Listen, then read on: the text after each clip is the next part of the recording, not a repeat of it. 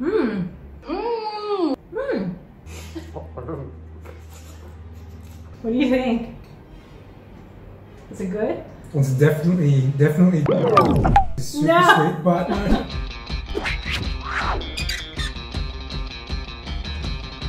So we've been together for four and a half years. And today we're going to be exchanging our dishes from our cultural heritage. Snacks today, um, mine's Persian and hers is from Philippines. Hey guys, my name is Ben and my background is Chinese Cambodian. Hi, I'm Lisa. My background is Chinese Vietnamese. So we've been together for almost 10 years. I've known this guy for 11, so Yeah. that's more than a decade. So I've made a Zeytoon Parvardeh, which is a Persian dish made primarily of olives. It's got some pomegranates in there, it's got walnuts, it's got some mint, um, some garlic. Also done something that we in my family do. It's not necessarily a Persian dish, but put some olive oil and some on some bread, put some sumac on it, and we put it in the air fryer. Um, so you got to spray the olive oil on it, put it in the air fryer for a couple of minutes, maybe three minutes, and then you get these nice, almost cracker-shaped bread slices that you can have with your Zeytoon Parvardeh.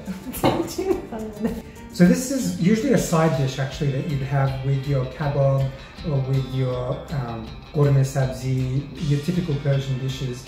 Um, and you've never made this for me, and I've actually never seen this before, so I am excited to try it.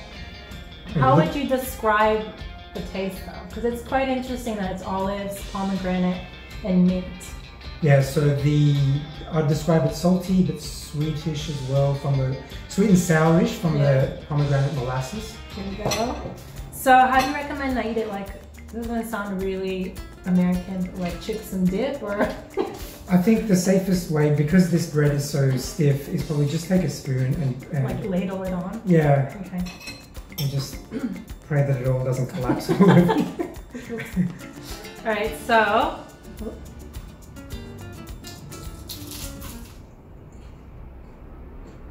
Mmm. Mmm. So the olives and the mint together, so yummy. I would have never ever thought to do that. It's salty from the olives and like a bit of a like a tang from I guess the pomegranate, but the mint's also quite Powerful. quite strong, but it's really good. It makes it like less salty. Um, Okay, so this is, um, or in English it's called like summer rolls, Okay. um, but in Vietnamese it's called goi cuon. okay. So it's essentially like rice paper rolls with vermicelli and also like lots of Vietnamese mint. Uh-huh. And then we've also got shiso, basil leaves, cucumber, prawns as well, and also some butter lettuce. Yep. Also, I've got like a little dipping concoction for you as well, which is um, hoisin sauce and peanut butter. It's pretty nice. Yeah, so Looks very, very healthy though. Ooh, I'm gonna dig in now. Oh, they are quite sticky. oh no, I've got some meat on it. I don't like the extra vegetables. mate, Alright, I hope you like give it. this a go. Mm.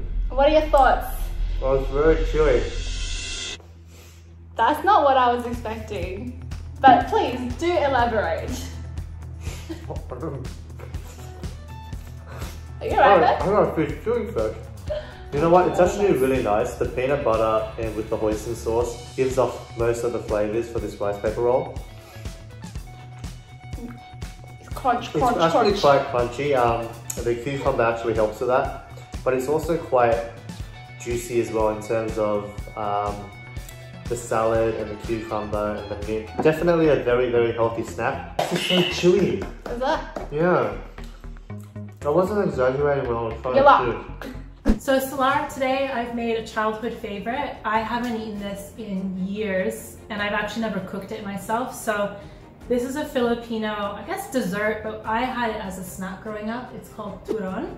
And it's basically a spring roll but with bananas and jackfruit inside. Mm. It's an, like an egg roll wrapper that I wrapped a banana covered in sugar, brown sugar, topped some jackfruit on top, and then I fried it, which was a whole story on its own. I burnt some of the food. The reason I picked this food for today, for you to try, because one, I haven't made it in a long time, it was one of my favorite snacks growing up. And two, my grandma used to make it for me all the time. And this just reminds me of my grandma. It's not very healthy, it's deep fried, full of sugar, but it's delicious. so, Yeah, it looks like a uh, it looks like a sweet sausage roll. This- yeah, that's a good way of describing it. But it's delicious, so go for it.